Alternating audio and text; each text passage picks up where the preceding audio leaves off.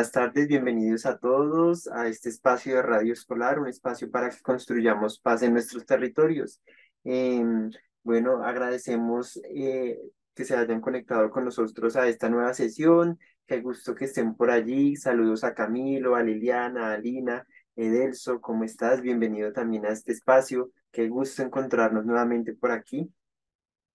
Gracias, Daniel. Chicos, chicas. Bueno, hoy vamos a iniciar el, el, el, taller de hoy con solamente pedir un compromiso de parte de ustedes. Nosotros vamos a estar súper activos, aunque seamos poquitos en esta sala hoy. Pero la única condición es que ustedes sean participativos y participativas, para así no estar eh, quién opina, quién opina, quién opina, quién opina, sino que la idea es que todos podamos como compartir el conocimiento porque sabemos que ustedes tienen también conocimientos en, en esta línea de radio, ¿no? Entonces, bueno, saludando a Camilo, a Liliana, a Lina, y un poco hacer la pausa porque la semana pasada habíamos quedado, antepasada, habíamos quedado con una actividad pendiente. Sé que algunos ya la habían socializado, pero me gustaría actualizar. Camilo, cuéntanos, con la actividad tuya, tú la subiste al Drive, al Drive, la escuchamos. Profe, es que no, no la pude subir porque no estaba muy bien informado sobre la actividad, ya que eso, ese día estuve con una conexión un poco mala en la clase, entonces se escuchaba muy entrecortada la, la llamada. Ok, perfecto. De todas maneras, eh, ya Daniel también va a compartir el enlace del Drive para que ustedes esta semana se pongan al día. Recuerden que es una, una de las actividades era hacer un audiorretrato, un poco hablar sobre eh, cómo le gustarían a ustedes que lo vieran, que lo reconocieran, qué sonidos los identifican, los caracterizan, su música. Inclusive ahí en el Drive van a aparecer algunos ejemplos. Liliana, cuéntanos. Pues yo lo hice, pero tuve un problema, es que no tenía muy buena la conexión y ni el, los datos, entonces no lo puedo enviar. Ok, ¿cuándo lo envías, Liliana, para escucharlo, para saber qué va a estar ahí? Mm, Podría ser el día de mañana.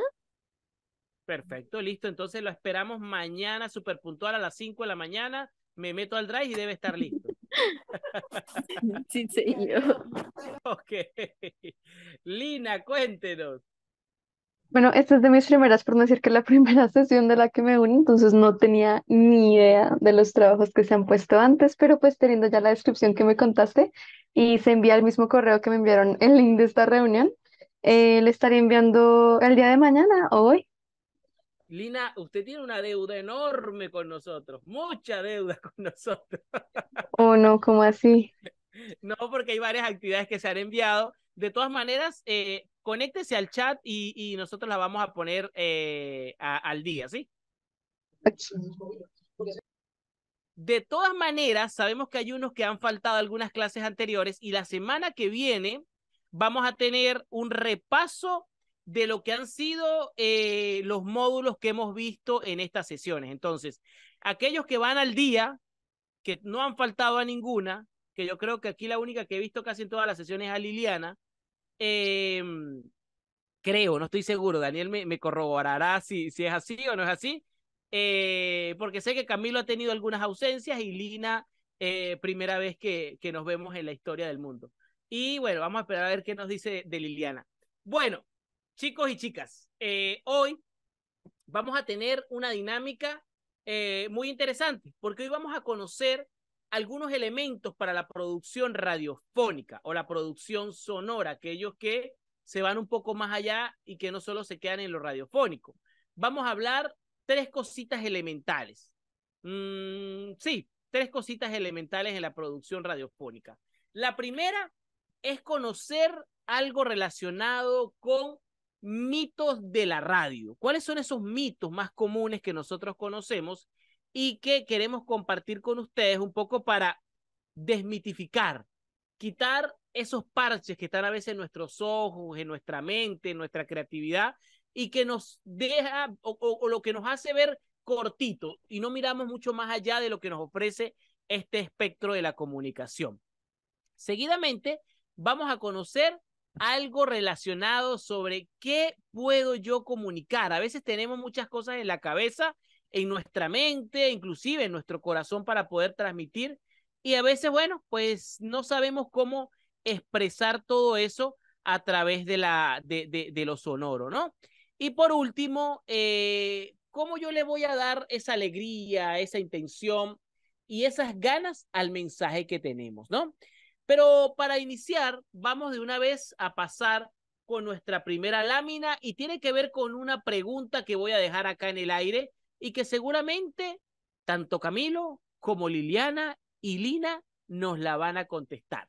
Muchachos, ¿qué es comunicar para ustedes? Espero que no todos al mismo tiempo porque se escucha así como, como de repente eh, entrecortado. Es transmitir una información o ideas, pensamientos, emociones a, de una persona a otra o a un grupo de personas. Ok, gracias, Lina. ¿Liliana está de acuerdo, Camilo?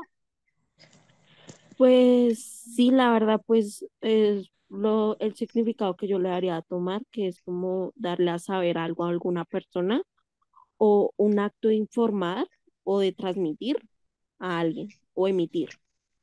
Ok, transmitir, emitir, informar, ok, Camilo.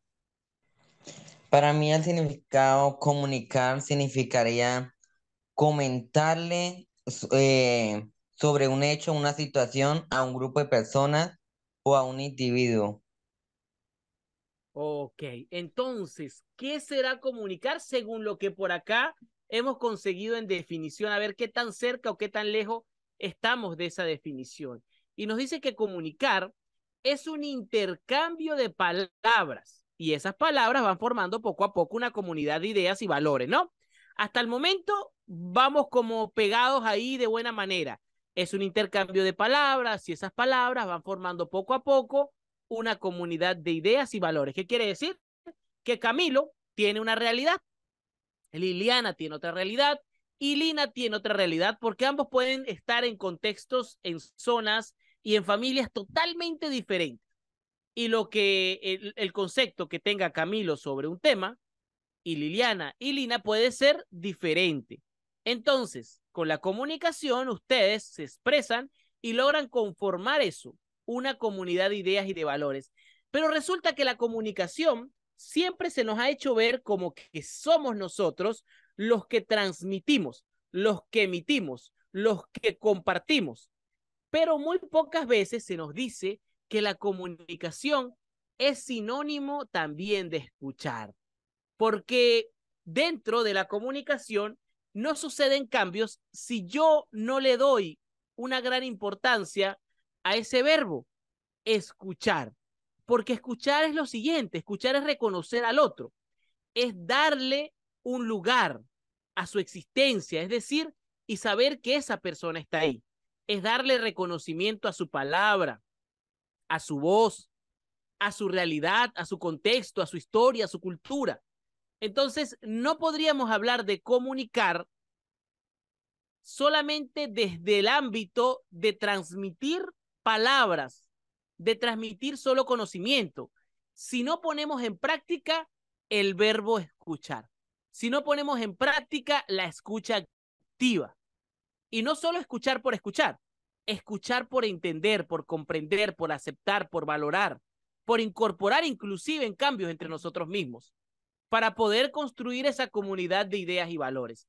Entonces, el primer mito desmitificado, por decirlo así, la comunicación no solo es comunicar, eh, no solo es intercambiar o pasar eh, palabras de aquí para allá, sino también escuchar, entender, comprender, mantener esa escucha activa. Vamos con el segundo mito. Y el segundo mito nos cuenta que es ese mito que siempre nos han contado, ¿no?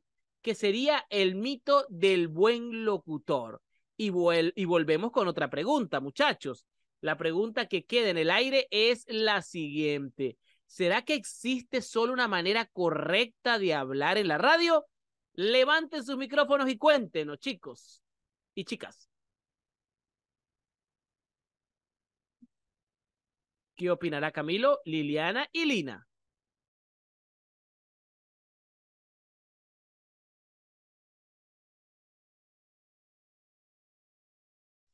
Para, para mi parecer, para, no, no existe una manera correcta, sino distintas maneras, ya que hay radionovelas que hablan de alguna manera, en otras hablan diferente, entonces no, no existe solo una manera, sino que puede haber muchas y en varios idiomas. Ok, ¿será que lo mismo piensa Liliana o Lina? Pues también depende de lo que se está dando, bueno, la información que se está dando, porque no se va a usar el- la misma voz para las noticias o para los deportes, lo mismo para hablar sobre moda o demás. Y también es porque la persona que está hablando está dejando su esencia ahí. Entonces, justamente la forma de hablar de esta persona es lo que hace que los demás oyentes la identifiquen. Ok, ¿qué dice Liliana? Pues concuerdo con mis compañeros, eh, lo, cada persona tiene su esencia para hablar y pues cualquier manera sería la correcta para cualquier sentido de, cómo quiera expresar. Si va a hablar de algún tema, pues tiene su manera de hablar y tiene su manera de, comunicarse a las personas. Eso es correcto. y escuchábamos, escuchábamos a los tres y, y, y, yo de una vez me transporté y decía, wow, qué bueno que, que ustedes están claros de que en la comunicación todos podemos caber, que en esa cajita que cambiamos a veces el dial se nos permite entrar a todos y todas que no es necesario hablar 5320, 490, productor internacional y mundial de la radio, que no es necesario solo hablar así para que nos entiendan. Que a veces también hablando un poco suave, también entramos dentro de la cabina de radio. Que hablando también, eh, inclusive eh, con esa voz finita, también estamos ahí. Y que aquellos que hablamos también, como lo decía eh, Liliana, Olina, creo que fue, o sea, todas las voces sirven para todo. Que si yo voy a hacer un, un, programa dentro de mi radio escolar, no porque el señor que queremos entrevistar o de repente, ¿quién quita que el señor de la puerta quiera hacer un programa en nuestra radio escolar? ¿Por qué no puede hacerlo? ¿Por qué la persona que de repente, bueno, vende en la tienda de la escuela, ¿por qué no puede hacer un programa? Y quizás no puede explicar sobre economía. O tal vez porque el profesor o la profesora de matemática o de dibujo como nunca hizo radio en su vida, pero se le antojó hacer un programa, ¿por qué no lo puede hacer? Porque no tiene una voz así gruesa y engolada. No. Es muy importante que los medios de comunicación, que las radios escolares, que las radios comunitarias o las radios en general, acojan e integren la diversidad de voces y formas de expresarse, muchachos. Las voces de la comunidad. Y no solo cuando le suceda algo malo, porque a veces solo dejamos que la gente hable cuando hay noticias, eh, se dañó el, el, el, el, agua, no hay agua en la escuela, no hay electricidad en la escuela, o por ejemplo en la comunidad se cayó un transformador y no podemos contar con el servicio de energía eléctrica. Entonces, no solo como eso, sino también cuando quiera dar una felicitación, cuando quieran hablar algo positivo, que tengan una parte activa dentro de la radio, del medio, ya sean como invitados o inclusive como fuentes directas de información. Y por qué no, que tengan un programa de radio. Entonces ya entramos en el segundo mito que le estamos quitando como la careta. No solo existe una manera, una sola forma de hacer radio, existen muchas maneras de comunicar. Vamos con la siguiente y la siguiente no transporta. Yo, que, yo, yo no recuerdo si alguno de ustedes ha hecho radio. Levanten la mano, el dedo, lo que quieran, saluden. Eh, de alguno de ustedes en algún momento ha tenido la experiencia de hacer un podcast, de hacer un programa en la escuela, en su comunidad. Ajá, Liliana. No sé si Camilo y Lina. Ah, creo que los tres, no. Aquí estos chicos están súper califragilísticos espialidosos. bueno, como, como los tres ya saben de qué estamos hablando. Entonces, muchas veces hay algo que conocemos en la radio que se llama estructura. Para los que hemos estado en radio, en comunicación, hay muchos formatos y estructuras de, de, de, de establecer como nuestra pauta de programa. Entonces, hay muchas radios que trabajan una estructura de 8x2. Entonces, resulta que ese 8x2 son 8 minutos de hablar, eh, un comentario y mando dos, dos minutos de publicidad o de cuñas. Hay otros que llaman 13 por 2, que son 13 minutos entre música, eh, comentarios, entrevistas, opiniones y dos minutos de cuña, ¿no? Pero hay muchos formatos en los que yo puedo estructurar que es necesario muchas veces, como lo dice ahí, y hay gente que se acostumbra a eso y dice, pero yo ya me acostumbré a mi estructura o me acostumbré a una sola. Y a mí esa me gusta, total. La gente dice que es muy buena, pero resulta que en la comunicación, entre más sazón le pongamos a la comida, mejor sabe. Y eso tiene que ver un poco con los cambios que podamos hacer en nuestros esquemas o en nuestras estructuras en los programas. ¿Qué tal si el programa del día de hoy lo comenzamos con una poesía? ¿O qué tal si hoy vamos a hablar de el tema de salud ambiental y lo comenzamos con un chiste o una adivinanza? Y después le metemos una música en vez de decir, buenos días, hoy vamos a hablar sobre salud ambiental. Pero qué tal si de una vez arrancamos ese programa y decimos, sigan, sigan talando árboles, mañana tomarán jugo de muebles. ¿Qué tal si yo comienzo con eso y le pongo una cortina picaresca y le doy esa primera intriga a las personas que están escuchando? No tengo que decir netamente que voy a hablar sobre el tema ambiental, sino que ya de por sí ese chiste o esa sátira me permite a mí entrar en caliente con la gente y ponerlos a reflexionar. Entonces, por eso es muy importante, chicos y chicas, el tema de las estructuras. A ver si me ayuda eh, Liliana, léeme un poco eh, la importancia acá que aparece de el cambiar esas estructuras tradicionales. Dale, Liliana. Las estructuras tradicionales de hacer la radio sigue existiendo y puede servir como puntos de partida, pero no son fijas. Podemos transformarlas, mezclarlas entre ellas y por supuesto inventar nuevas. Esto quiere decir que los formatos se pueden mezclar, que podemos imaginar y proponer a nuestras audiencias nuevas formas de acercarnos a la radio. Mezclar, qué palabra tan bonita, ¿no? Mezclar, mover algo para otro y otro para otro y tratar de siempre estar en constante movimiento. En las últimas clases, nosotros habíamos hablado de los géneros y formatos radiofónicos. Y cuando decíamos género, podíamos decir que los géneros de la comunicación o de la radio teníamos cuatro envases, que vendrían siendo esos envases macros, grandes, ¿no? Entonces, esos, esos envases eran aquellos donde se iniciaron los géneros de la radio. Por ejemplo, uno de ellos era el periodismo, el género periodístico. Otro de ellos era el género dramático, era otro de los envases. Y otro de ellos era el género musical. Entonces, dentro de ellos teníamos muchas cosas. Y dentro de ellos podíamos meter, por ejemplo, en el periodístico la entrevista, podíamos meter la crónica, el flash informativo, podríamos meter una cantidad de formatos. En el dramático, nosotros podríamos trabajar los spots, los microdramas, los chistes, los poemas. Y eso era parte del género dramático.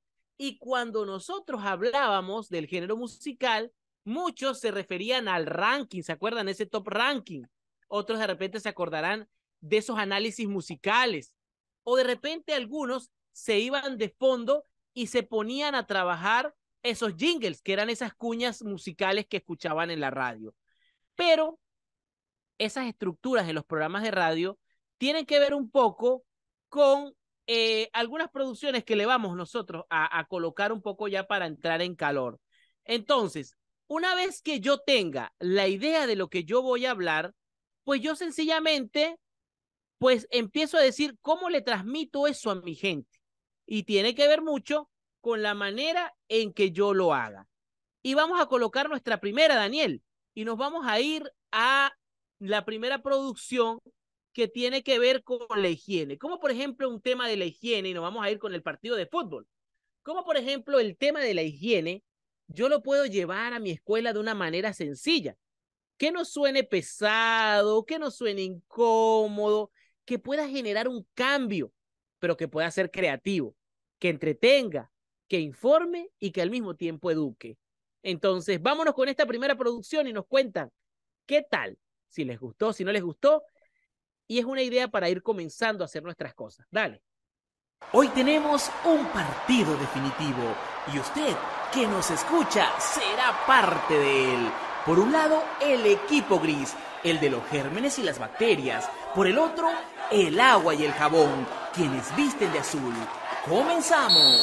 Vemos que María y Carlos avanzan, pero se les olvidó el lavado de manos antes de la comida. Y de esta manera, punto para el equipo gris. Lideran el compromiso las bacterias y los gérmenes. Tienen el turno los azules, una buena posibilidad de igualar el partido. Paul y Ana se frotan las manos y entre los dedos sacan espuma con el agua y el jabón, evitando enfermedades. Punto para este equipo. El partido está uno a uno.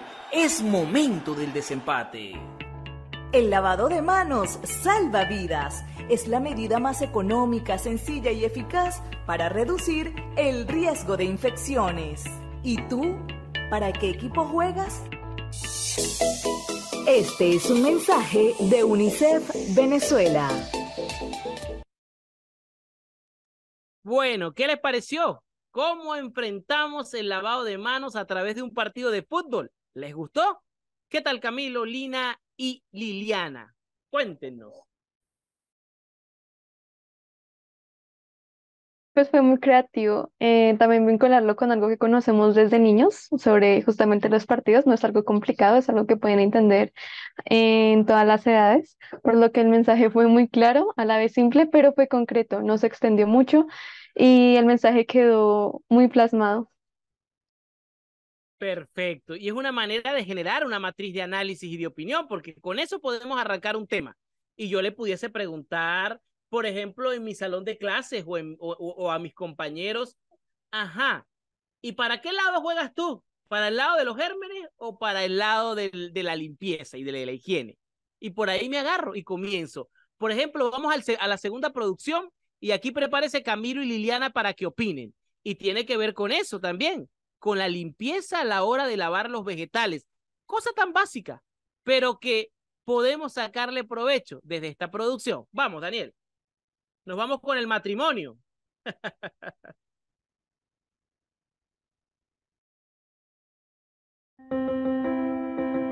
Salmonella notifoidea aceptas a Campylobacter para seguir causando enfermedades graves a los humanos?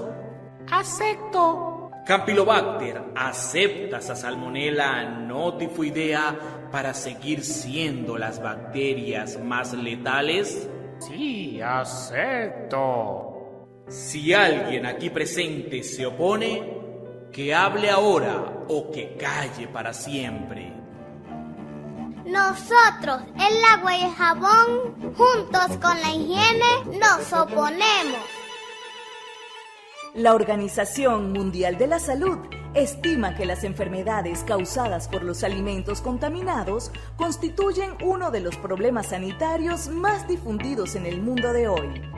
Por eso, proteja a su familia, manteniendo la limpieza, separando alimentos crudos y cocinados, cocinando completamente y manteniendo los alimentos a temperaturas aptas, usando agua y materias primas seguras. Este es un mensaje de Hex Eper Venezuela. Ajá, Camilo y Liliana, ¿qué tal? Pues, Pues para Me- mí es un mensaje muy claro, ya que nos explica que debemos lavar los, los vegetales antes de, de consumirlos, ya que puede traer muchas enfermedades para nuestro cuerpo. Ok, ¿qué dice Liliana?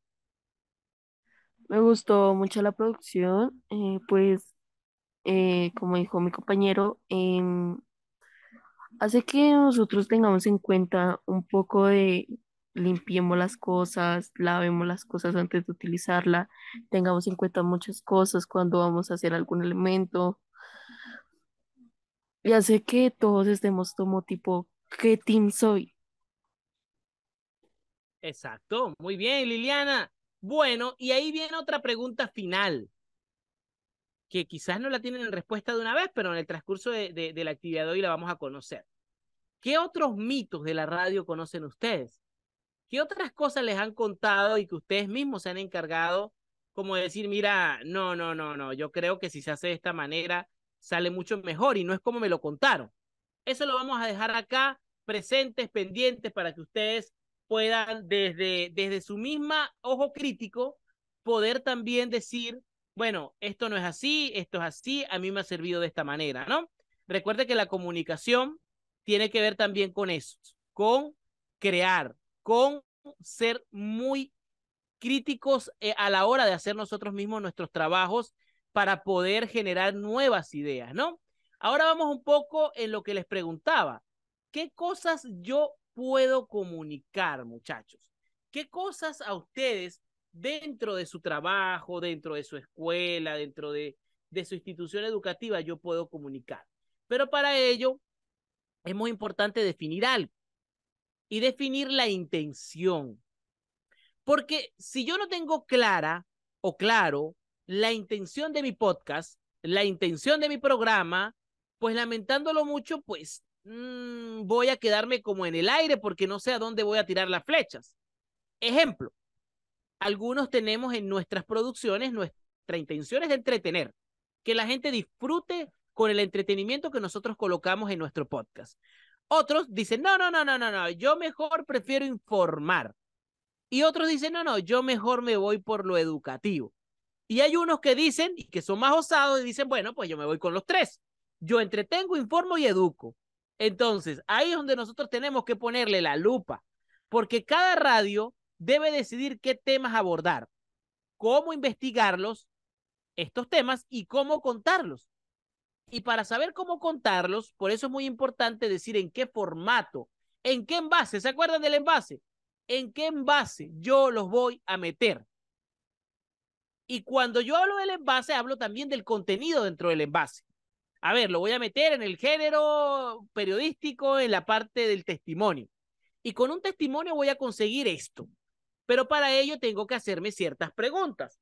Supongamos que estoy en un tema de la comunidad y tengo y quiero seleccionar un tema y mi mente está colapsada, ¿no? Se colapsó porque no tengo ideas de qué hacer, de cómo organizarme. Entonces acá le vamos a presentar una serie de preguntas que ustedes deben hacerse a la hora de hacer o de decidir qué tema abordar, ¿no? Entonces lo primero que hay que tener claro es decidir eso, qué elegir, cómo elegir el tema. Atentos acá porque estas preguntas se pueden repetir más adelante en un ejercicio que vamos a hacer. ¿Qué temas o problemáticas afectan mi comunidad o escuela. Por ejemplo, en muchas escuelas, la problemática principal puede ser la inseguridad o la seguridad. En otras escuelas, por ejemplo, puede ser el uso de sustancias psicoactivas. En otras instituciones, a lo mejor el problema que existe es el tema de la acumulación de desechos sólidos o el mal uso de la, de, de la, del control de la basura o de los desechos sólidos en la escuela, que los chicos no tienen conciencia a la hora de botarlos en la caneca o en el envase o en el balde, ¿no? Otra cosa que yo debo preguntarme, si voy desde la parte del entretenimiento, ¿qué eventos locales, culturales, deportivos, educativos son importantes y necesitan mayor divulgación? Por ejemplo, resulta que en la comunidad de Lina o en la escuela de línea hacen un torneo de ping-pong todas las tardes. Y es un torneo que ha agarrado fama porque no hay, no hay día que no se pele en esa actividad. Entonces, Lina quiere decidir transmitir esos partidos y empezar a comunicarlo una parte desde su podcast. Entonces, bueno, ¿cuáles son esos eventos locales que tenemos a nivel cultural, deportivo y educativo que son importantes y que yo voy a divulgar? Otra cosa importante es qué está pasando en el mundo y cómo lo relaciono con lo local. Por ejemplo, hay un tema que he escuchado mucho a los, a los demás estudiantes, el tema del, del vapor, que como ese tema ha llegado a Colombia, vapor es que se dice, ¿verdad, Daniel? Creo que es lo, lo del cigarrillo electrónico. Sí, así es. Ok, entonces, ¿cómo ese tema ha hecho mella a nivel internacional desde lo macro o global y cómo ha hecho mella desde lo local. ¿Será que mi escuela se, se permite eso? ¿Será que mi institución educativa yo lo puedo controlar? ¿Qué cosas puedo hacer desde un programa para tratar de reflexionar sobre eso? Ahí entra la creatividad que cada uno pueda tener. Otra cosa es muy importante. ¿Qué personajes? Porque a veces pasa que hay personas que han hecho historia en nuestro, en nuestro entorno, en nuestra escuela, en nuestra comunidad, y a veces no se le da la importancia necesaria. ¿Y qué tal si conocemos la historia de don Pedro, el señor que vende la guanábana en la esquina? ¿Qué tal si conocemos a doña María, la señora que nos ayuda con la limpieza de la escuela y esos pisos relucientes? ¿O qué tal si nos vamos al profesor de matemática que tiene 40 años enseñando? Entonces, ¿cómo conocer detrás del oficio a esa persona que también es humana, que también siente, que también vive, que también le gusta y que tiene pasión por las cosas? ¿Cómo hacemos? Ahí está nuestro micrófono, nuestro teléfono, nuestra grabadora para decirle un presente a esas personas que están ahí. Vamos con la otra, chicos y la otra nos puede enfocar sobre algo que es esencial en la elección del tema y tiene que ver con el enfoque, el enfoque que nosotros le vamos a dar a nuestra producción. Pero antes de ello, me gustaría un poco que eh, pasamos a la otra lámina, que aquí Lina me pueda leer esta primera parte, ¿no? Que tiene que ver un poco con el enfoque y contexto de un tema. Dale la primera parte, Lina. Listo. Lo que hace realmente interesante tu tema es el contexto que le aportes, el enfoque con el que lo presentes y los elementos particulares que encuentres sobre este tema. Eso lo hará más atractivo para tu audiencia. Por ejemplo, hagamos una pausa acá y nos vamos a la producción de Deshojando Margaritas. Tenemos un tema, un tema que muy poco se habla. ¿Qué tal si hablamos de la higiene menstrual? No, no, es un tema que no se puede tocar en la escuela porque eso es un tabú. Pero resulta que la higiene menstrual a veces deja muchas estudiantes en el camino. ¿Por qué? Porque a veces no hay elementos para que las chicas, esa pobreza menstrual, puedan ir a la escuela con toallas sanitarias. O a veces durante esa actividad no hay baños donde ellas puedan garantizar su higiene menstrual, su limpieza. Pero ¿cómo tocamos este tema de una manera creativa y diferente? Depende del contexto y del enfoque que le demos. Dale, Daniel. En un pueblito muy lejano había una pequeña escuelita donde asistían jóvenes y niñas deshojando margaritas. Si entro a clases, no entro a clases. Si entro a clases, mm, no entro a clases. Estas jóvenes y niñas, por creencias de la zona, veían la menstruación con una total confusión.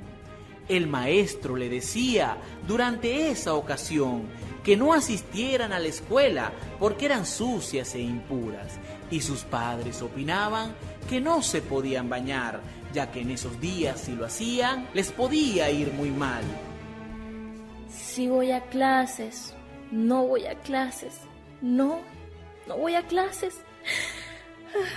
Pero yo quiero ir, yo quiero seguir aprendiendo. Esta historia se repite en muchos pueblos y ciudades que por falta de información de algo tan natural como la menstruación, muchas jóvenes y niñas van quedando sin opción.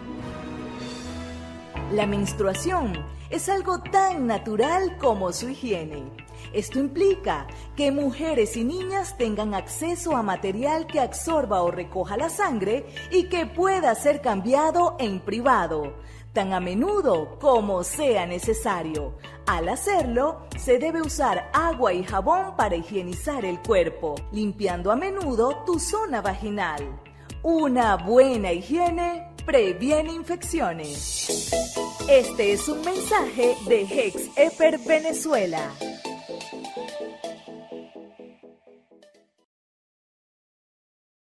Camilo, comencemos contigo. La pregunta es la siguiente. ¿Qué tal la producción? ¿Crees que esos temas se pueden tocar en la escuela?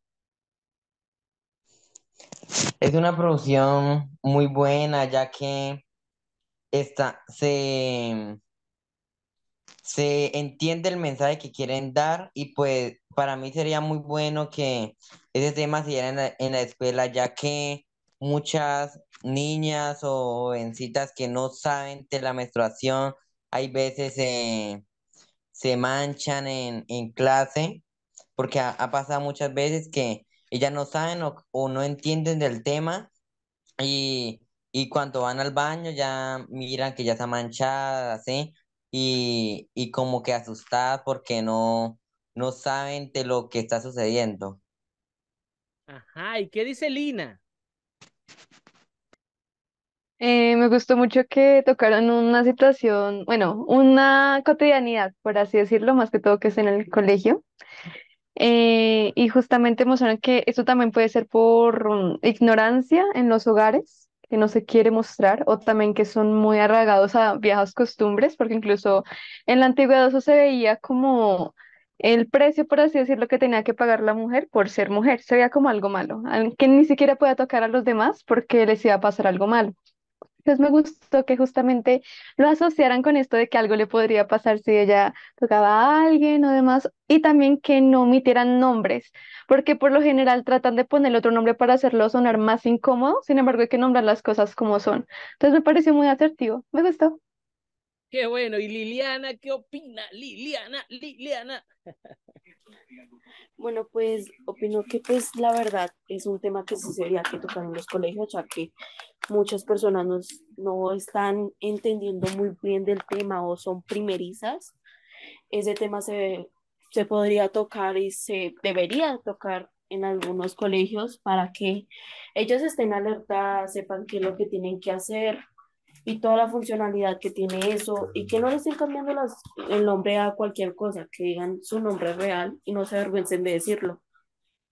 Claro, y qué importante también es hablarlo con los hombres, con los estudiantes de la escuela, para que si vean a una chica manchada, no se alarmen, ay, ay, tiene la mancha, tiene la mancha, nos va a contagiar. No, sino que más bien sean lo suficientemente maduros para entender que es una situación normal. Y eso es necesario porque muchas chicas no van a la escuela cuando no tienen una toalla por el miedo a sufrir bullying o sufrir de repente burlas por parte de sus compañeros. Entonces, eso es importante tocarlo con los estudiantes, con los docentes, con las otras niñas, para que puedan entender que ese es un proceso totalmente natural y que es un ciclo que se vive. Entonces, eso es un tema clave para poder hablar en nuestros podcasts y en nuestros programas. Entonces, bueno, por eso es importante como un tema que pudiera ser eh, generalizado, que se pueda ver desde, desde, desde, desde lo macro eh, a nivel mundial, yo pueda hablarlo en mi escuela, hacer una producción e invitar un día en un foro a 20 chicos, a 20 jóvenes y poder ponerles estas producciones, las que ustedes hagan creativamente, y decirle, muchachos, ¿y qué piensan sobre esto? Y reflexionar con ellos. Algo les va a quedar, se los garantizo. Entonces ahí pues vamos viendo cómo nosotros, a través de lo que les mostrábamos hace rato, a través de ese contexto a nivel generalizado, eh, nosotros podemos eh, transmitir. Si nos ponemos en la lámina, para hablarles un poquito sobre el contexto, Daniel, y que aquí nos ayude Liliana a leer, ya Lina leyó. Entonces, donde dice contexto, Liliana, ya, va, ya, ya se va a proyectar, donde dice la palabra contexto. ¿Qué es eso del contexto en, en, una, en una información? Dale. El contexto es toda esa información que debemos conocer y presentar a nuestros oyentes que les permitan comprender mejor el tema, de acuerdo con los con las circunstancias o hechos que los rodean. Ok, tenemos un tema, la higiene menstrual. Entonces, el contexto es que nosotros no podemos irnos a improvisar en un programa sin antes haber investigado, sin antes haber leído, sin antes conocer bien lo que decía eh, Lila y Liliana, y, Liliana, que decían ambas, eh, es que las cosas hay que llamarlas por su nombre, porque es que inclusive se vuelve incómoda cuando hablamos, no es que esa manchita roja que tienen las niñas. No, eso es un tema importante que tiene su nombre, tiene su apellido y hay que nombrarlas, por supuesto, por su debido nombre. Y para poder nombrarlas, cualquier tema que yo voy a hablar eh, pueda causar, eh, digamos, roncha o no roncha, esa temática debe ser investigada por nosotros para no caer en divagaciones o de repente caer en informaciones que no son las adecuadas. Y por supuesto, con fuentes fidedignas, con fuentes que tengan investigaciones. Y lo otro que es importante es el enfoque, Camilo. ¿Qué es eso del enfoque?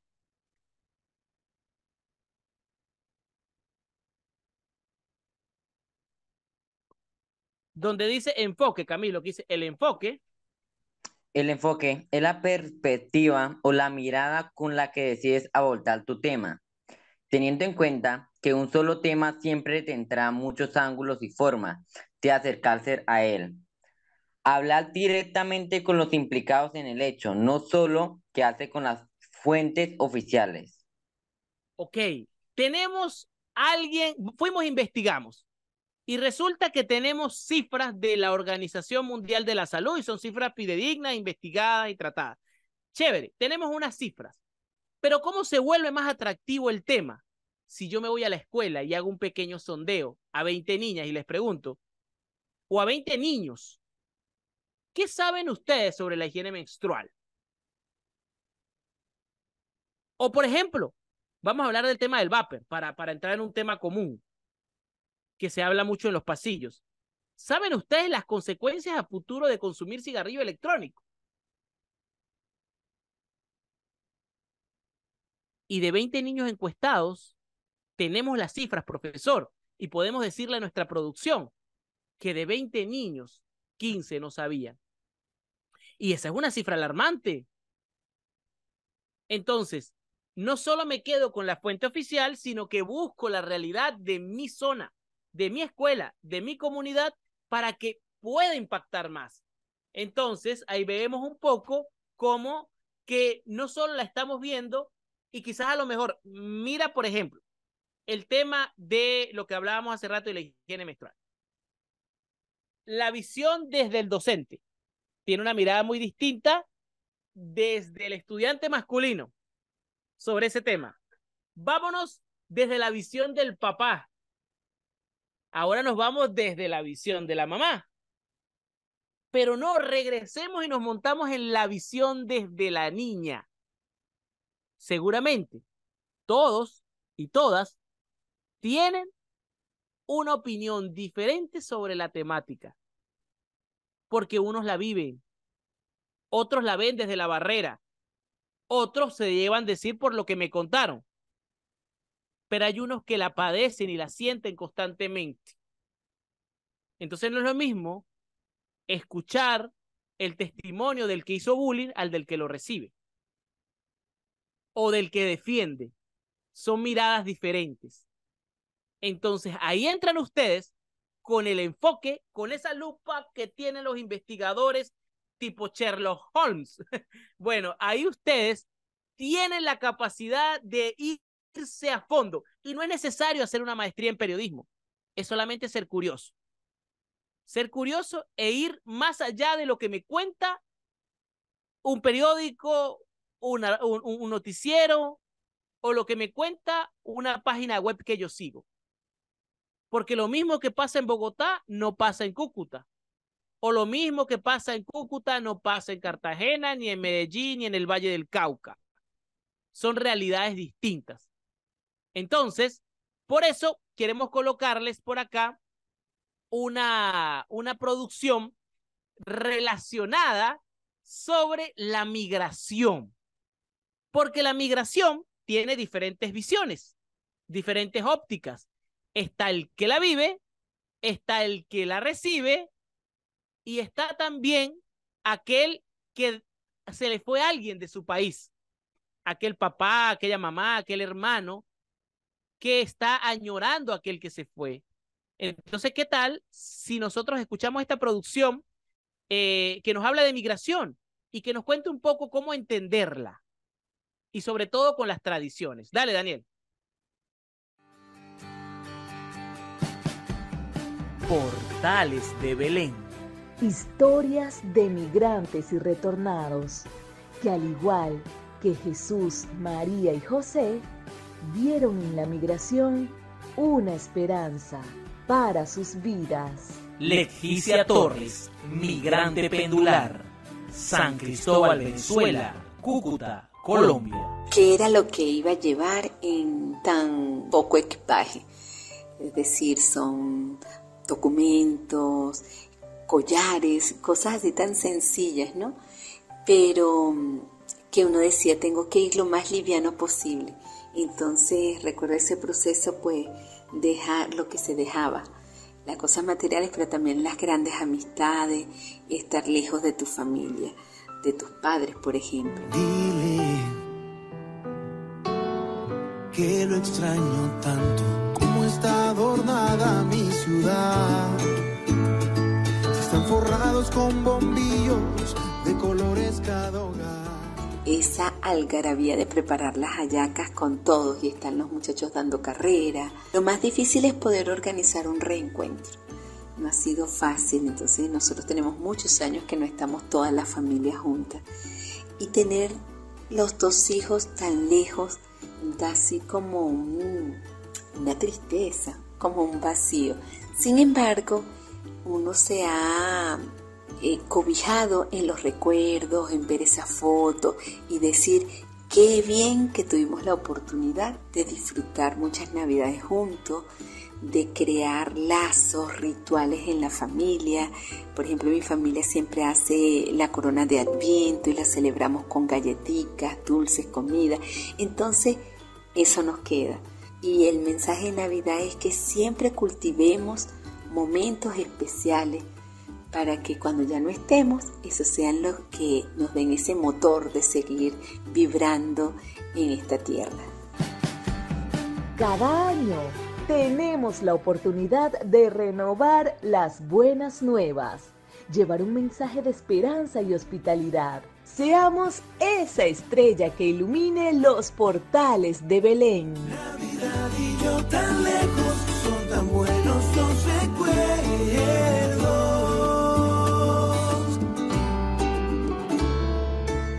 Este es un mensaje de la Fundación Rosa Luxemburg y Grupo Comunicarte.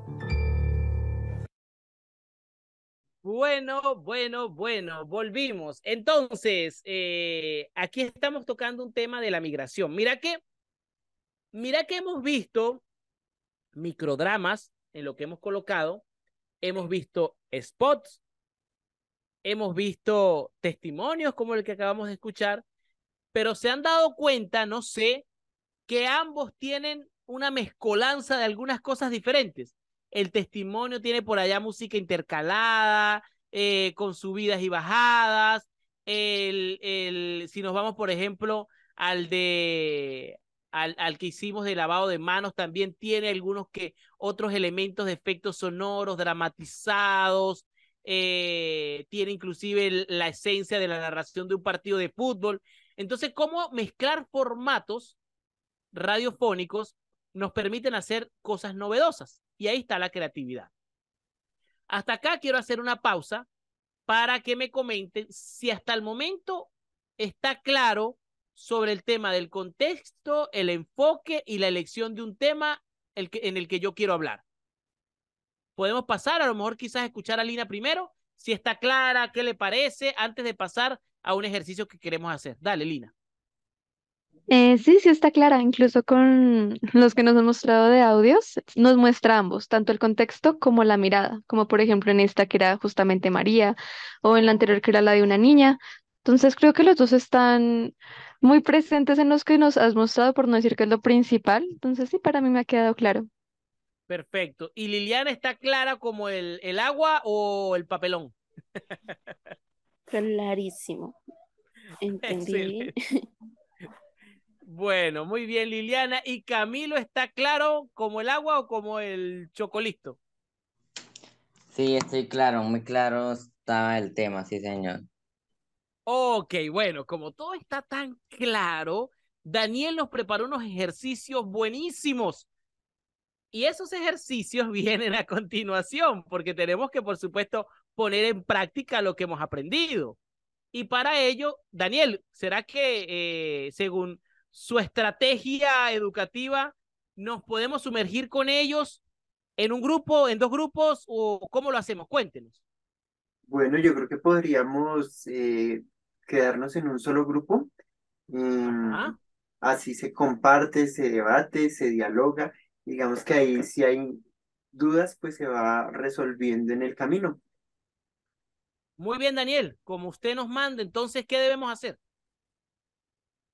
Bueno, vamos a hacer el ejercicio número uno. Entonces, vamos a pensar esos temas, esas problemáticas que afectan a nuestra comunidad o a nuestra escuela. Entonces, acá hay tres personitas que son de diferentes instituciones, diferentes comunidades, pero que pues igual hacen parte de un sistema educativo en el que seguramente de pronto van a haber algunas problemáticas en común. Se podría abordar una de estas problemáticas que eh, nos, digamos que nos nos une, nos, nos tiene como en relación y pensar precisamente en qué está pasando, eh, digamos que eh, cómo está afectando esta problemática en el mundo y cómo se puede relacionar con lo local. Debemos encontrar entonces ese contexto, ese enfoque de los temas que se presenten o que lleguemos aquí como lleguen aquí ustedes como a conclusión.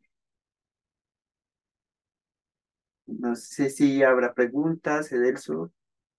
Sí, cuéntenos, Lina, Liliana, si todos los deditos están arriba, es porque todo está clarito y está claro el ejercicio que van a hacer.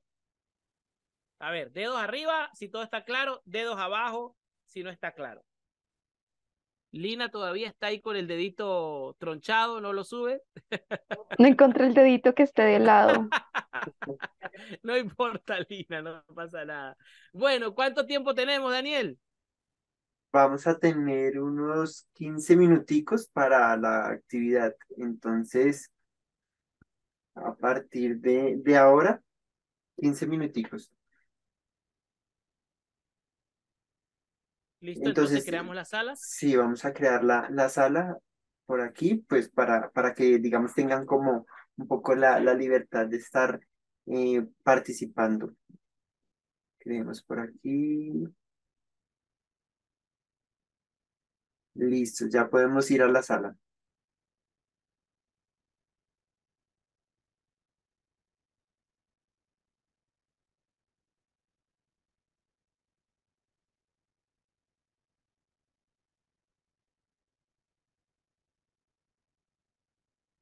Bueno, y por acá vamos a dejar en pausa la grabación de nuestra sesión. En unos minuticos volveremos con más de Radio Escolar, Territorio de Paz.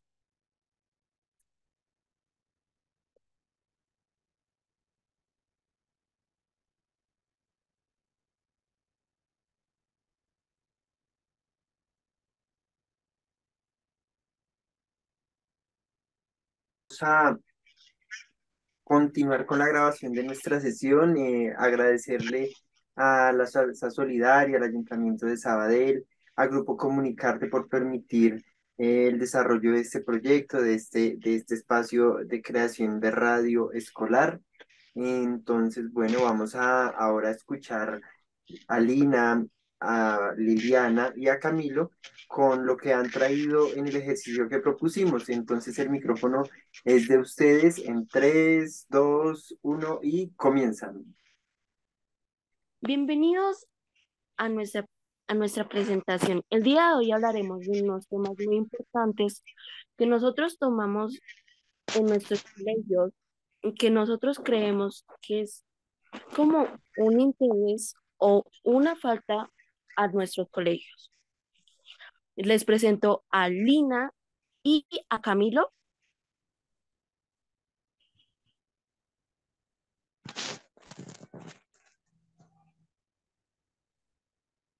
Ok, hubo acá un problema de comunicación, hablar en tercera persona. Eh, soy un narrador omnipresente, yo no soy Lina, ¿ok?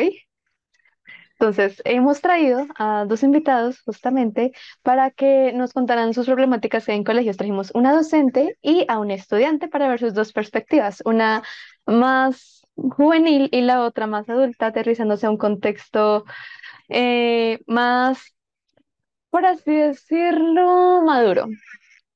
Entonces, le tenemos unas preguntas a la docente Lina Vargas, las cuales las hará nuestra presentadora Liliana a continuación.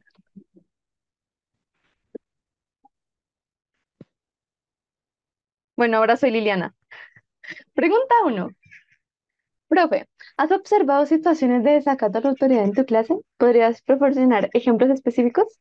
Oh, gracias, Liliana. Es una muy buena pregunta. Sí, he notado en algunos casos que hay mucho desacato de autoridad en mi clase. Por ejemplo, en ocasiones algunos estudiantes han llegado tarde constantemente a pesar de las reglas establecidas y han ignorado mis, mis instrucciones para que se presenten a tiempo.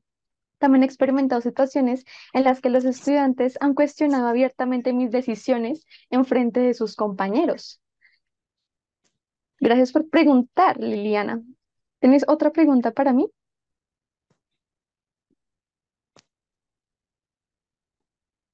Oh, claro, tengo otra pregunta. ¿Cómo crees que el desacato a la autoridad afecta al ambiente de aprendizaje y la calidad de la educación en nuestros colegios?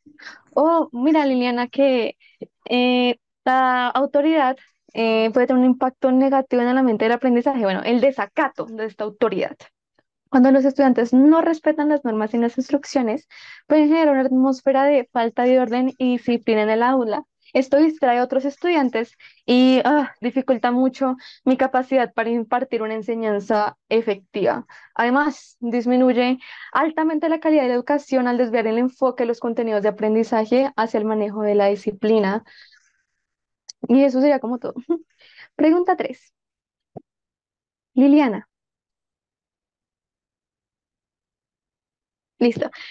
¿Cuál crees que podrían ser las razones detrás del desacato? ¿Existen patrones comunes que has notado, profe? Eh, sí, muchos. Bueno, las razones pueden variar, pero he notado que a veces los estudiantes pueden sentirse desmotivados o desconectados con el contenido de la clase. También es posible que influyan factores externos como problemas personales o influencias de compañeros, que he visto mucho. De hecho, en algunos casos, podría ser una forma de llamar la atención. Los patrones comunes incluyen la falta de respeto hacia las normas establecidas y la resistencia a la autoridad en general. Ay, muchas gracias, profesora eh, Lina Vargas. Eh, también hemos traído uno de sus estudiantes, que podría ser uno de los que faltan al respeto o de la que le escuchan. Justamente le he preparado unas preguntas de este mismo estudiante, el cual se llama Camilo Sánchez. Él cursa el grado de noveno, no, décimo grado. Estas preguntas las tengo yo, solo yo, Liliana, por lo que las voy a leer solo yo, Liliana. Liliana.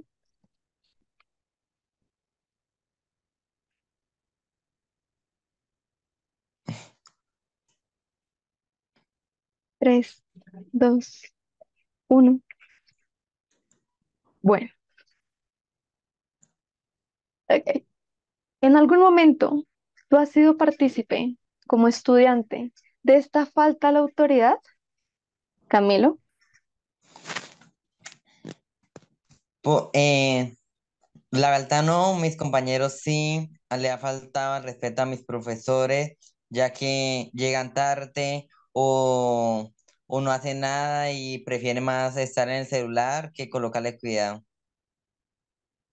¿Y tú justamente has alzado la voz o le has dicho a tus demás compañeros que justamente paren este comportamiento?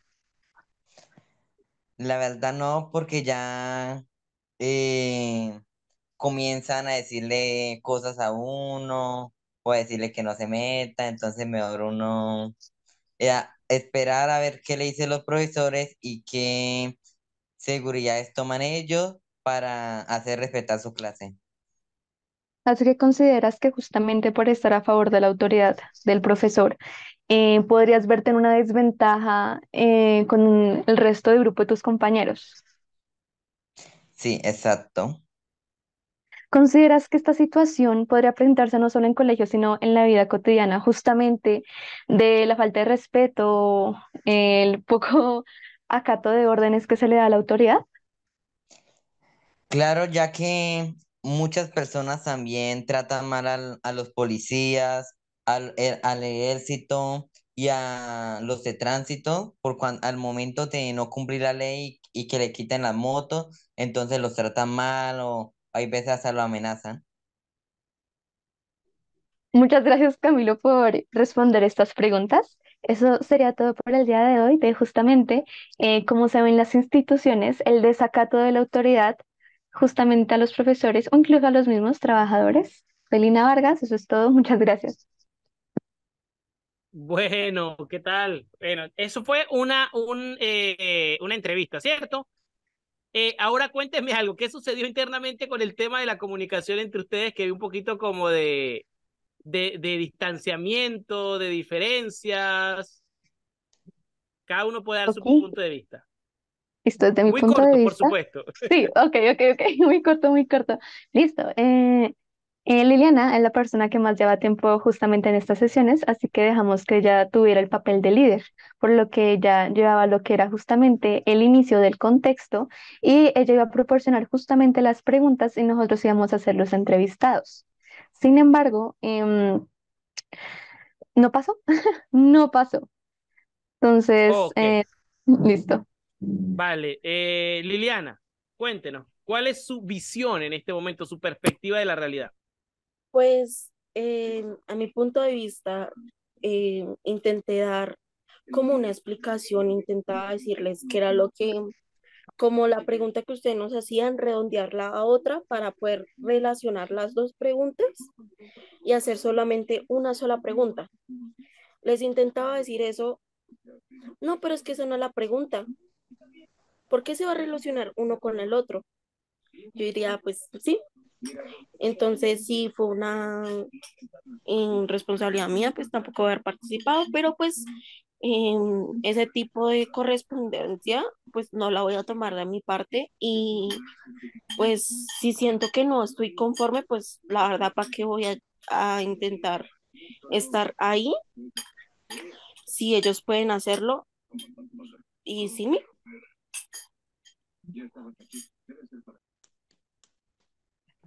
El micrófono. Camilo, Camilo, perdón. Eh, desde mi punto de vista, eh, ¿qué pasó? Pues me- Lina y mi persona lo entendimos de una manera diferente a la de Liliana, pero obviamente decidimos que Liliana tomara, tomara la palabra y lo íbamos a hacer a la manera que ella nos comunicaba o nos decía, solo que hasta así lo teníamos preparado y todo, que ya no iba a hacer la pregunta, pero no sé qué pasó en el momento de hablar. Bueno, mira, recuerden que estos son espacios de em, compartir de conocimientos. Acá, por mucho tiempo que pueda tener uno en la sesión, creo que muchos de nosotros en cada uno de los espacios donde estamos también tenemos trayectoria. Creo que todos acá hemos hecho radio y, conocemos un poco, bueno, cómo hacerla, ¿no? Em, entiendo un poco que ya había como un esquema claro, por eso es muy importante que eh, se pudiese haber hecho un pequeño formato de guion eh, o de, o de, mm, o de libreto donde se pudiera como distribuir mejor eh, las responsabilidades que, que a cada uno como le, le, pareciera. Entendemos que acá son espacios muy cortos, muchachos, donde ustedes pueden como ponerse de acuerdo y que no siempre todo va a salir a la perfección como nosotros lo tenemos planteado, pero sí por lo menos que salga una muestra de lo que para ustedes consideran que es el ejercicio, ¿no? Entonces, tanto Liliana como Camilo y Lina, entiéndanse de que no buscamos la perfección en estos espacios.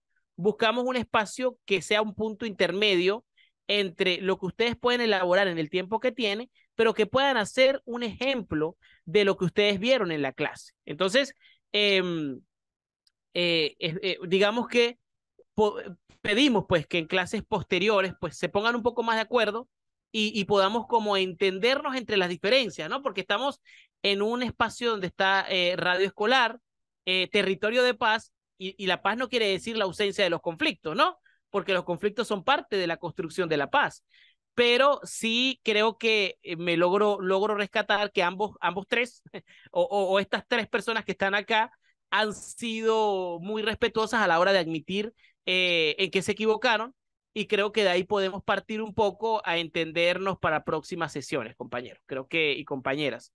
Creo que por ahí sería bueno como tenerlo presente. Entonces, eh, evaluando un poco la actividad, bueno, estuvo un poquito extensa, ¿no? creo que, que, duró, eh, creo que la entrevista, claro, creo que fue el mismo, el, la misma, la pequeña diferencia que hubo que generó como que se extendieran un poco, ¿no? Pero eh, digamos que ese formato de, de la entrevista es como que muy conocido, ¿no? Entonces yo sí los invitaría a tratar como de indagar en otros formatos que sean un poco más creativos y que podamos llevar ese mismo mensaje que ustedes querían llevar sin tantas palabras. A ver, el reto sería, el reto sería, ¿cómo yo hago o cómo yo transmito el contenido que dijimos ahorita en casi cinco minutos, siete minutos, en un formato corto de uno? Ese es el reto, porque a veces no comunica más el que más dice, sino a veces comunica más el que en menos tiempo dice cosas más relevantes. Entonces, eh, eso sería como un aporte al ejercicio. Sin embargo, valoro el esfuerzo, valoro el entendimiento y valoro el que cada uno haya admitido que, bueno, que, que, hay cositas que no se organizaron de la mejor manera. Entonces, bueno, son las 5.45 por allá en, en Colombia. Eh, contarles que aquí hay tres ejercicios que van a quedar como tareas para su casa. Y un ejercicio va a corresponder a cada uno, Daniel. Lo ponemos y ese queda como ejercicio pendiente para la semana que viene, un poco para retomar esa participación que tuvieron hoy. Entonces, uno le toca a Lilian, otro le toca a Camilo y otro le corresponde a Lina, ¿no? Entonces, eh, a Liliana, como no realizó el ejercicio 1, le va a corresponder hacer el ejercicio 1 por su cuenta, ella solita. A Camilo le va a tocar el ejercicio número 2. Y a Lina le va a tocar el ejercicio número 3 o corresponder al ejercicio número 3. Entonces el 1 es el mismo. ¿Cuáles son esas problemáticas que afectan mi comunidad, mi escuela?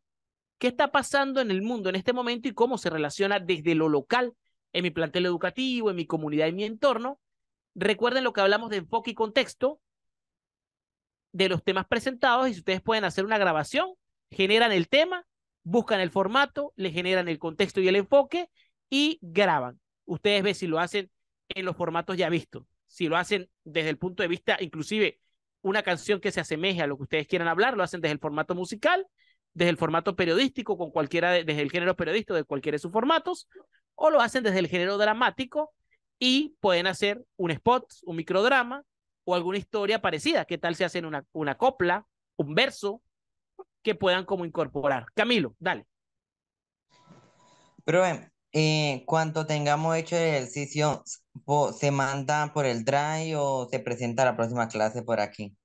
No, lo suben al Drive, ahí nos da chance tanto a Daniel y a mí, nos da la oportunidad de revisarlo con tiempo y si hay que corregir algo, le decimos para que ustedes como que lo actualicen antes de presentarlo en la clase que viene. Ah, bueno, señor, muchas gracias. Bueno, entonces el ejercicio 2 es qué personajes de la historia de mi comunidad deben ser reconocidos por sus saberes, sus experiencias oficio. Ahí le tocaría a Camilo buscar a alguien dentro de su entorno, ya sea escolar o comunitario, que haya sido como un emblema y hacer un testimonio, una entrevista, de repente una crónica de la persona sobre la trayectoria, sobre el, sobre, sobre el tema, o a lo mejor, bueno, yo quiero eh, hacer un, un pequeño, con, con el cuento que él me echó, yo quiero hacer un pequeño microdrama. Entonces, eso sería como un ejercicio interesante de Camilo. Y Lina sería qué eventos locales, culturales, deportivos, educativos son importantes y necesitan divulgación. Entonces, Lina se va a encargar de buscar algo en su entorno educativo o comunitario que ella pueda divulgar a través de una producción corta que no pase de dos minutos. El reto es que en dos minutos máximo yo pueda transmitir algo que atrape, que enganche y que contenga elementos del lenguaje radiofónico. ¿Hay claridad en la explicación?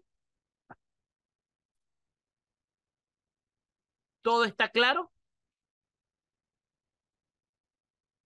Parece que, que quién sabe. ok, Liliana dice que está claro, Lina dice que está claro, Camilo dice que está claro, como el chocolisto. Ah, no, claro, Camila dice que está claro. Bueno, chicos eh, y chicas, em, ya para cerrar, sí me gustaría un comentario de cada uno de ustedes sobre mm, qué se llevan en la clase de hoy, qué cosas creen ustedes que pudiesen haber aprendido hoy y que pueden aplicar en su cotidianidad radiofónica, porque todos ustedes tres hacen comunicación desde sus espacios. Podemos comenzar con Camilo. Dale, Camilo. Que lo que me lleven de la clase de hoy Es, es como no, no tanto trabajar en equipo, sino aprender de los errores de uno, porque por lo que pasó, que no, no nos pusimos de acuerdo, entonces eso fue y pues aprender más de cómo hacer un, un, una grabación de un minuto. Ok, ¿qué se lleva Lina Vargas? Sí, justamente para realizar este tipo de ejercicios se necesita una preparación, una investigación organizada antes de transmitir cualquier tipo de información. También que se tiene que usar un lenguaje sencillo y claro, por, bueno, dependiendo de la audiencia a la que queremos llegar, tenemos cierto tipo de contenido. Justamente como nos mostraste en los audios, era para todas las edades, también enfocado más que todo en niños o, bueno, en ambientes educativos.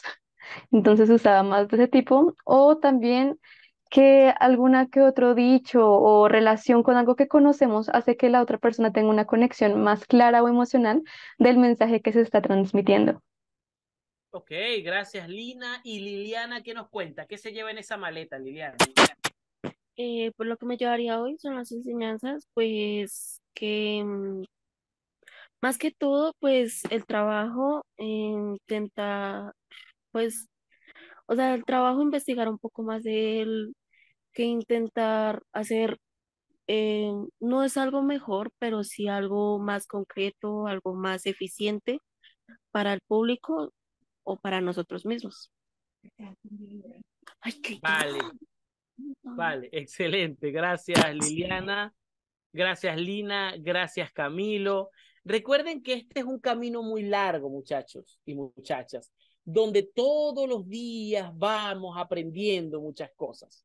Entonces, aprendamos diariamente, metamos en esa maleta mucho contenido para poder nosotros innovarlo, porque a veces tenemos muchas capacidades y conocimientos, pero si no activamos el botón de la creatividad y de la imaginación, todo se va a quedar en una estructura netamente desde la zona de confort y nuestra gente, nuestros oyentes, nuestras personas que están ahí compartiendo con nosotros, pues se van a terminar cansando del mismo formato, del mismo esquema que trabajamos. Entonces, que ese conocimiento, que ese contenido, que esas investigaciones puedan ser transmitidas de la mejor manera, en los mejores géneros y en el mejor formato. Daniel. Bueno, Edelso, muchas gracias. Muchas gracias a Lina, a Camilo, a Liliana. Ahora quiero aprovechar este momento para compartir con todos ustedes este evento que vamos a tener el próximo 9 de septiembre. Desde ya queremos invitarlos para que se paren el tiempo, para que se programen, para que inviten también a sus profesores, a sus compañeros y hagan parte de este interesante conversatorio que se llama Las TIC en proyectos educomunicativos. Eh, se va a hablar sobre, sobre radio y sobre cine escolar. Vamos a tener a Vanessa Becerra, bueno, ella es experta en diferentes temáticas en relación al contenido que se va a abordar, entonces importante que aprovechemos de su experiencia, de lo que nos va a compartir, que en la sesión estemos muy atentos a lo que ella comparte para hacer preguntas, comentarios y que precisamente se dé un conversatorio agradable en el que podamos aprender y también enseñar a los otros. Eso por el lado del conversatorio para que vayan agendando sus em, sus, sus fechas para este día. Recordarle la invitación que hicimos al inicio de compartir la información que les va a llegar al correo para que otras personas puedan em, integrarse a la formación los días martes de 8 a 10 de la mañana. Eh, por ahora vamos a ir activando nuestras cámaras para tomarnos nuestra fotico de cierre. Entonces contamos de 5 ¿Y a cómo 0. así, profe? Eh, sí, siempre nos tomamos una fotico en la que Ah, eh, Claro, todo lo- todas las sesiones ustedes tienen que ir a una peluquería, no pueden ir. Por eso, mira, yo me corté el cabello hoy uy, no avisaron. No, no, no. Vayan encendiendo las cámaras. No importa, a veces salimos también despeinados, no pasa nada. Gracias, Liliana, por encenderla. Camilo se fue a poner a peinar también. Ajá, Lina también, vaya Sí, para profe, que... espere, espere. Estamos en esas, estamos en esas. Momentico, momentico. Ajá, Se Camilo. la cámara se ve mejor de lo que pensaba de noche. Ve. Bueno, entonces, mientras Lina activa, vamos de 5 a 0. 5, 4. Vale. Ah, pero un momento, porque no alisté para tomar la Ah, foto. listo. No, Camila es del Tres, Madrid, no, no estoy de Ah. acuerdo. dos. Pregun- no, espere. Eh, pregunta. Acá hay como unos avatares en esto de Zoom. ¿Uno puede usarlos? No. No, No, no, ¿cierto? no, no No. es válido. Bueno, Dos, uno. Eh, ah, lo que sí debemos usar es una gran sonrisa para la foto. Eso es lo que sí debemos usar. Dos, uno y sonrían. Listo, muy bien. Ya quedó el registro fotográfico de nuestra sesión. Bueno, Bueno, un placer haberlos conocido y bueno, espero, esperamos seguir compartiendo semana tras semana. Un gran abrazo y feliz noche. pregunta. Eh, justamente eh, esta es mi primera clase. Entonces, los trabajos. ¿Cómo le hago para los trabajos? Daniel se va a encargar de, de pasarles, digamos, los trabajos pendientes en el grupo. Ella va a compartir, él va a compartir. Ah, otra eh, cosita. Es que en el grupo, el link de grupo de WhatsApp que enviaron por el chat es un link de Zoom. ah, lo siento, ya comparto el correcto. Pequeño detalle. Ah, bueno, bueno, bueno, bueno. Ya lo vamos a compartir en el grupo de WhatsApp. Listo. Pregunta, ¿hace cuánto es que, Entonces, bueno. bueno, ¿desde cuánto es la primera tarea más o menos? De hace como dos meses. ¿Y se deja tarea cada clase? No, no, no. tienen como dos tareas pendientes nada más. Ajá, ok. Listo, listo. O sea que lo de, lo de, ah, lo he anotado, pero se me perdió. Lo de el sonido que nos representaba o el sonido que queríamos que Au- El, nos el representara. audiorretrato. Hay- hay- o sea, Audiorretrato, eso, audiorretrato. ustedes Claro, pueden seleccionar uno de tres. O es un audiorretrato, o, o, o crean un paisaje sonoro de su escuela o de su comunidad. Uno de los tres pueden seleccionar. Mm, ¿Ve? ¿y ¿Cuál es el ¿Dónde tercero? El audiorretrato. O sea, está audiorretrato, paisaje sonoro y el tercero. El paisaje, o sea, el audiorretrato es uno. El Sí. paisaje sonoro de mi escuela o el paisaje sonoro de mi comunidad. Ah, ahí están los dos. Listo. Sí, exacto. Ajá. Listo. Y fuera de esa había solo otro. Sí, el del libreto, ¿no? Que, que, que ese también lo tenemos. Ah, nos- dimos una clase de libreto donde había que crear eh, un libreto radiofónico em, sobre algún tema en particular que ustedes decidieran hacer.